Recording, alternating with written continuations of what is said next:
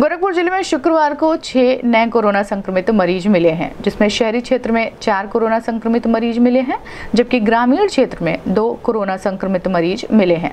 इसके बाद से ज़िले में संक्रमितों की संख्या उनसठ हो गई है। इनमें आठ सौ इकतालीस की मौत हो चुकी है। अंठावन लोग स्वस्थ हो चुके हैं, जबकि एक्टिव केस 90 हो गए हैं। इस संबंध में सीएमओ डॉक्टर सुधाकर पांडे ने लोगों से विशेष सावधानियों को बरतने की अपील भी की है।